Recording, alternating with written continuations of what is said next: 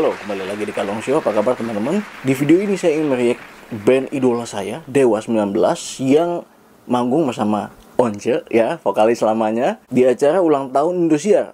Ini yang request sudah banyak di DMIG, salah satunya teman saya, Polis Ronkos. Thank you ya mas ya. Dan saya ingin meriak pertama-tama adalah Pangeran Cinta. Pangeran Cinta ini lagu yang kayaknya sangat sulit. Karena waktu itu Opa Fadli pernah uh, di acara yang di SCTI itu bisa dibilang bisa dibilang gagal sih ya. Dan ini penyanyi aslinya kita pengen denger seperti apa setelah berapa belas tahun. Kita juga kangen suaranya Once ya. Tapi sebelum itu saya mohon maaf karena ini Indosiar. Daripada video saya di blog, mendingan saya tambahin watermark di sini ya supaya nggak di blog dan teman-teman bisa menyaksikan video saya. Gak usah lama-lama langsung kita tonton Pangeran Cinta.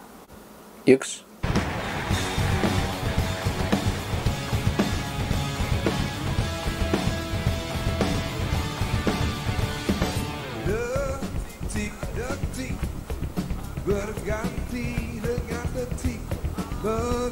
Silih berganti. Hari-hari pun terus berganti. Bulan-bulan juga terus berganti. Zaman-zaman pun terus berubah. Ini ya hebatnya Dewa ya. Lu nggak bisa bedain antara yang recording sama yang live. Bener-bener sempurna banget ya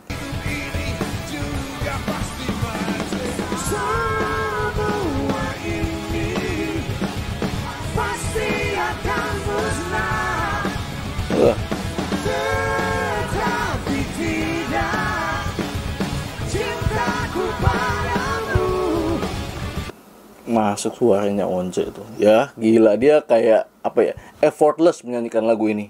Sinting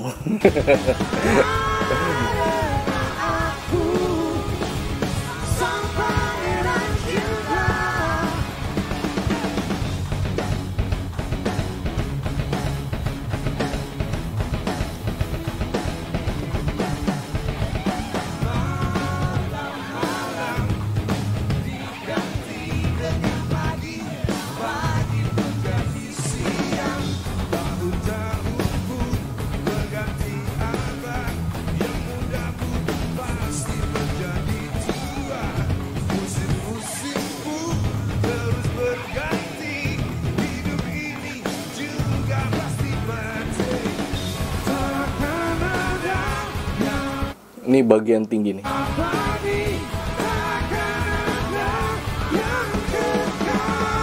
Biasa banget nyanyinya ya. Gak kesulitan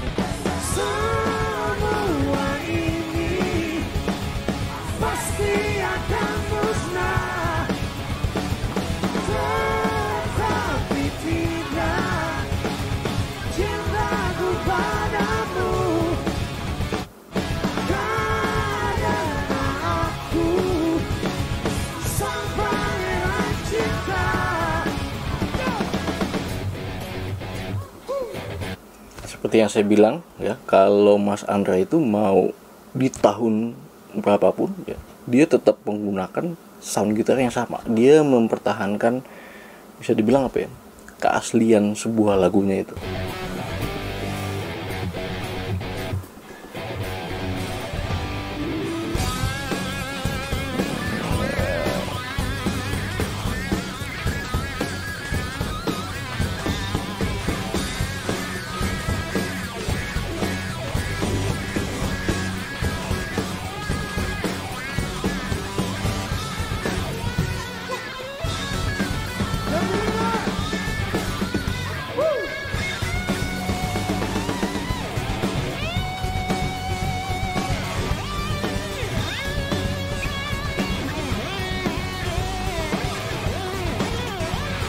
ini itu lebih ke apa sih? Kayaknya waktu dulu saya dengar di album yang ini album apa sih eh uh, Pangeran Cinta ya Pangeran Cinta ini katanya Pak Dedani itu lebih banyak terpengaruh sama Led Zeppelin pada zaman itu.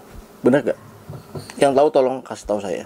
Karena memang dari ritme gitarnya dan apa ya melodinya itu berubah banget dari yang album bintang 5 habis itu Cintailah Cinta ke album yang ini Pangeran Cinta ini.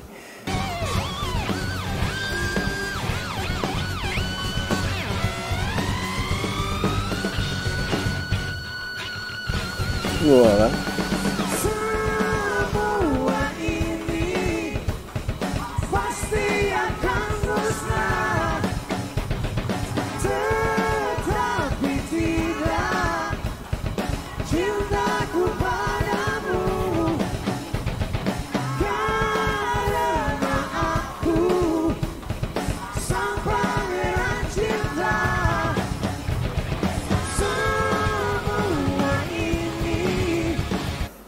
Gua nggak dengar sedikit pun ada kesulitan ya.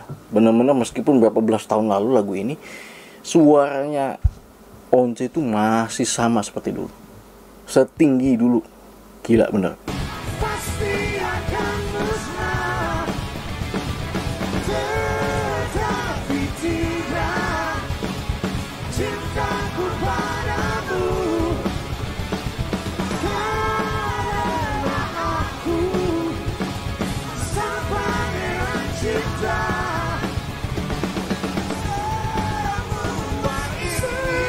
Cintaku padamu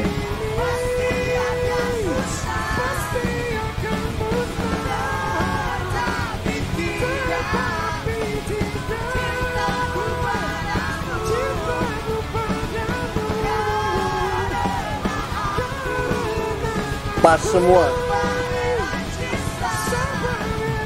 Ketika dinyanyikan oleh Once kelar semua ya. Ada nada yang tinggi gak ada sedikit pun melesetnya gila bener ya itu bukan suara emas lagi tapi suara diamond luar biasa ya tapi emang jujur aja saya rada kaget pada waktu itu ya dinyanyikan sama idola saya banget ya Opa Fadli saya kaget pada saat itu ternyata dia tidak mampu membawakan lagu ini dengan baik. Ini lagu begitu sulitnya dan memang ketika empunya lagu nyanyi ya udah pas gitu ya. Once nyanyi pas udah. Ternyata nggak bisa vokalis lain dan itulah kejeniusan Pak Dedani. Benar-benar menciptakan lagu buat wah ini range-nya kayak gimana, suaranya kayak gimana dan ya membuat dia ketika dinyanyiin vokalis lain belum tentu bagus. Oke, di next video ada kosong ya kesukaan saya juga. Jadi jangan ke mana-mana, stay kalong.